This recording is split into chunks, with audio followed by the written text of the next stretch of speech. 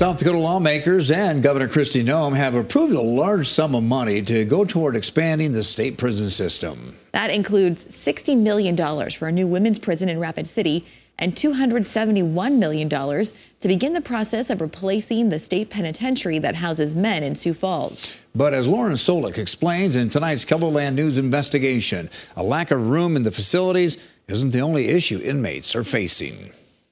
Rebecca Shaw was recently released from the women's prison in Pierre after serving nine months for drug possession. She says the biggest issue she saw while in custody was overcrowding, which sometimes led to violence. I was housed in the gym while I was in intake with 30 other women. Our bunks were in there.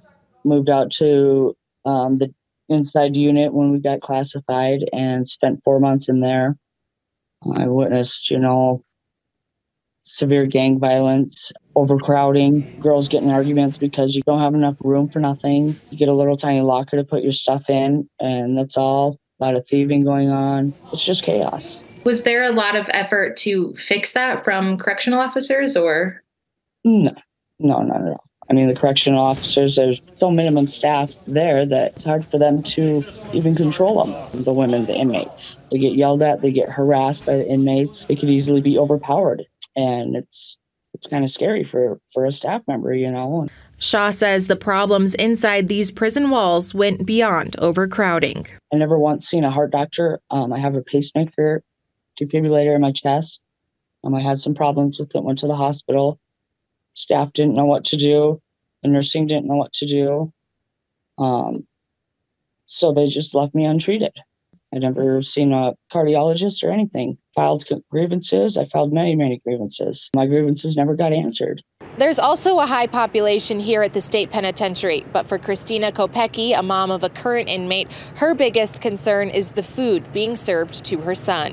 One week he told me that they had scalloped potatoes and ham three times in one week, and on the last night that they had it, it smelled so awful that nobody nobody could eat it. In a letter to the Department of Corrections, Kopecki and other parents of inmates questioned the quality of food in the prison. The letter also mentions a cut to the maximum amount of money inmates can spend each week at the commissary or prison canteen. Inmates used to be able to spend $40 a week. Now it's 25. And they have to supplement with that commissary.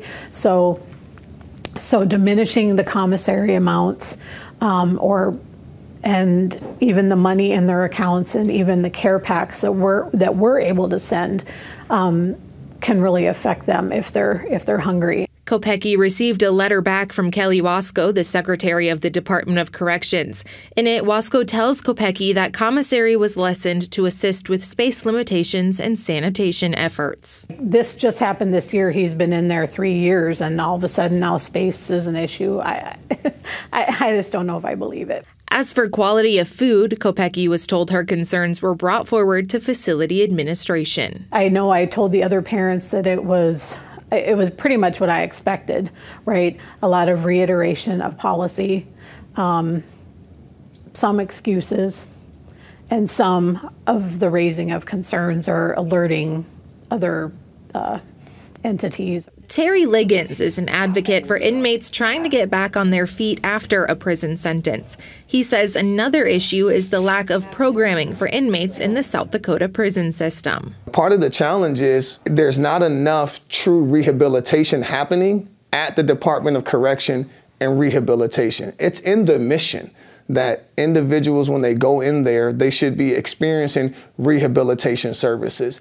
And there are some services there, there is some help happening, but not near enough that could be happening or should be happening to ensure that when people get out of prison, they're actually better in their minds, they're better with their emotional intelligence, and better in their psychological mindset. The Department of Corrections reports that 95% of all South Dakota inmates will eventually be released. And some, like my son, may be in there till 40, till he's 40.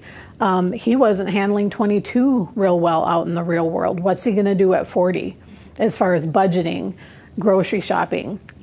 You know, look how technology is changing. You know, they don't have access to really any of that in there. Kopecki's son, Jamison Mitchell, is in prison on manslaughter charges. Rebecca Shaw was incarcerated for drugs, but they say behind each inmate's crime is a person. They get out of prison and their parents, their moms and dads their brothers and sisters, their uncles, their community members, their their future employees. And again, they maybe had a really bad night and now are paying for it for the rest of their lives and it just really makes you think not to be so judgmental. Everybody deserves a chance. Just because we go to prison doesn't mean we're a bad evil person.